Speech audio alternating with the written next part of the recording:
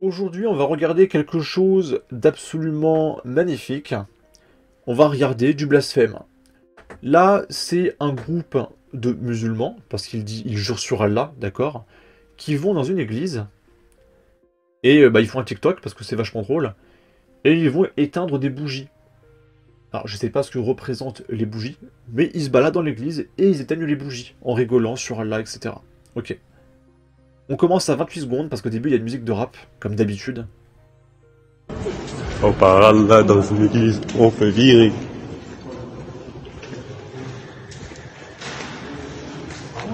Bon, là je vais.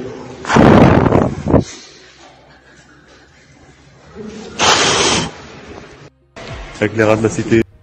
Non mais c'est... Imaginez tu vas dans une mosquée, tu fais un TikTok, et tu vandalises... Alors c'est pas de la vente... Est-ce qu'ils vandalisent? Bon imagine il y a des bougies sur un comptoir dans une mosquée, et tu souffles sur les bougies en faisant un TikTok. Mais tu te fais mais, défoncer, hein, si c'est pas pire, hein, d'accord? Ok. Je sais pas si c'est parce que mes parents m'ont toujours peut-être à l'excès incité au respect, mais le coup de souffler les bougies, entre parenthèses des cierges, comme ça, ça me met une colère froide incroyable. Je suis pas chrétien pour un sou, mais c'est tellement irrespectueux. J'espère que chaque bougie que tu as éteint emportera un membre de ta famille avec toi. Tu n'as aucun respect. Pourquoi nous on fait ça? Nous, après, on va nous traiter de racistes. C'est pas l'islam, prenez-vous-en au gouvernement. Perso, je suis musulman, je pratique ma religion tranquillement à la maison, et je suis très très bien intégré. Je n'ai pas honte de ces gens, car nous sommes compatibles en rien. Vive la France. Ok. C'est cool. Il de plus en plus de musulmans hein, qui disent Ouais, moi je suis musulman et ces mecs-là, ils ont rien à voir avec nous, ok. Et ensuite, on va parler d'une fusillade qui a lieu à Villeurbanne. Donc c'est celle qu'il y a ici, que je peux pas vous montrer. Euh, pourquoi? Parce qu'en fait, euh, vous voyez le mec qui est là, euh, il va se prendre un coup de 12. Donc c'est trop violent pour YouTube. Dites-vous que, je l'ai déjà dit dans une autre vidéo, mais YouTube, c'est un iceberg. Et en fait, si vous plongez dans l'eau, il y a Twitter. Parce que sur Twitter, il y a tout ce qu'on peut pas vous montrer sur YouTube. Des mecs qui se font plomber, des mecs qui se font défoncer à coups de pied, à coups de poing, qui se font poignarder. On voit tout sur YouTube. Des mecs en sang, etc. On peut pas vous le montrer. Si on pouvait tout vous montrer, il y aurait des dingueries sur YouTube.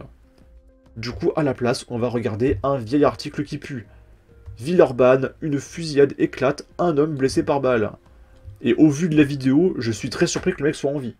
Il est blessé apparemment, ok. Peu avant 18h30, parce que le mec ne bouge plus dans la vidéo, hein. Il prend un coup de 12, il tombe par terre, euh, c'est une crêpe, hein. Peu avant 18h30, une fusillade a eu lieu dans la deuxième ville de la métropole de Lyon, selon le progrès. L'homme visé a été blessé par balle. L'intervention des pompiers a permis sa prise en charge payée par nos impôts. Son état de santé n'est pas encore connu. Une enquête a été ouverte afin de déterminer les circonstances de ce potentiel règlement de compte, afin d'identifier le ou les tireurs actuellement en fuite. C'est déjà la troisième fusillade depuis le début de l'année, uniquement à Villeurbanne, où le trafic de sandwich prend de l'ampleur. Ici, on est à Montpellier, il y a eu une soirée Ligue des Champions. Parce que si je ne me trompe pas, il y a eu la demi-finale euh, il y a quelques jours. Le PSG a perdu contre une équipe dont j'avais jamais entendu parler, d'accord C'est bizarre, je pensais que le PSG était fort, ok. Et du coup, euh, ça vire au drame. Il y a deux mecs qui sont entrés dans le local des fans de foot et qui tirent des coups de 12 dans le tas. En France. Les agresseurs sont en fuite. Une violente agression a fait un blessé grave mardi soir à Montpellier, alors que six personnes regardaient la demi-finale de la Ligue des Champions PSG Dortmund dans les locaux d'un stade de quartier. Des hommes armés ont fait irruption et ont tiré, comme ça. Il est 22h40 le mardi 7 mai 2024. À la, euh, à la télé, excusez-moi, les joueurs du PSG et de Dortmund disputent la demi-finale de la Ligue des Champions de football. Au local du stade Gilles Fayard à Montpellier, dans l'Hérault, six personnes se sont réunies dans le match ensemble. À quelques minutes du coup de sifflet final, entre deux à quatre hommes font irruption dans la salle. L'un est armé d'une arbalète. le mec qui s'est pris pour Gérald de Rive. je prends une arbalète, une petite potion magique, etc. Ok. Pourquoi pas On n'avait jamais vu. On avait vu la tronçonneuse. Euh, On a vu des AK-47, des calages, des couteaux, des tournevis. Mais alors par contre l'arbalète c'est inédit. Hein. La, prochaine, la prochaine étape c'est le tir à l'arc, d'accord Il y avait même une fois un mec qui avait pris un caillou. Qui menaçait un mec avec un caillou. Et l'autre avait une arme de poing. Donc un pistolet. Les deux assaillants présumés ordonnent à tout le monde de sortir du lieu, sauf un mec. Il s'agirait du président du club de football du quartier, âgé de 34 ans, et connu des forces de l'ordre pour des affaires de cambriolage. Selon une source policière, la victime a reçu une balle à bout portant à hauteur des trapèzes. Elle s'est logée près de sa colonne vertébrale. Toujours selon cette source, sa blessure pourrait entraîner une paraplégie, euh, une paralysie, excusez-moi, jusqu'à la tétraplégie.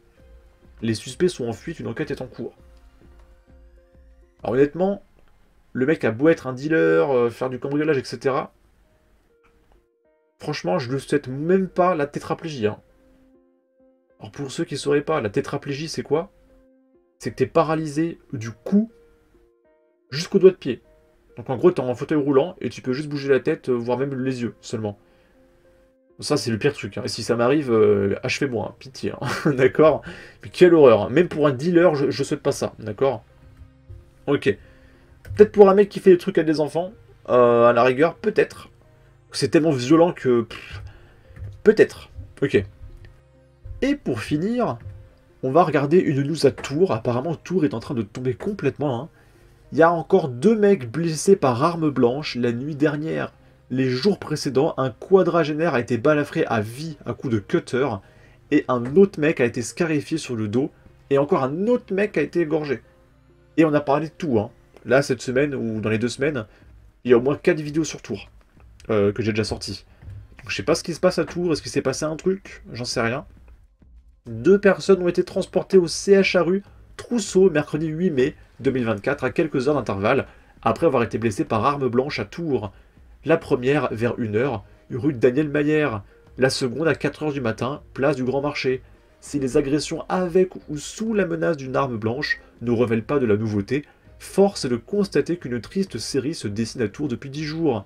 Entre le 24 et le 29 avril 2024, trois personnes ont été blessées. Bilan, un quadragénaire balafré à vie à coups de cutter, des blessures légères dans le dos pour un jeune homme de 25 ans, et une plaie à la gorge pour le troisième, miraculé. Ok. Et du coup, les gauchistes diront, bah personne n'est mort. Bah, personne n'est mort. Pourquoi vous vous plaignez d'insécurité? La France s'effondre, les rues sont devenues des champs de bataille, et les criminels ont pris le pouvoir. Quand allons-nous finalement réagir et reconquérir nos villes? Sinon, tout va bien en France. Ok, en tout cas, n'hésitez pas à donner votre avis, votre opinion, à partager, liker, commenter, ça aidera au référencement de la vidéo sur YouTube. Abonnez-vous, suivez-moi sur Twitter et à la prochaine pour de futures vidéos. Ciao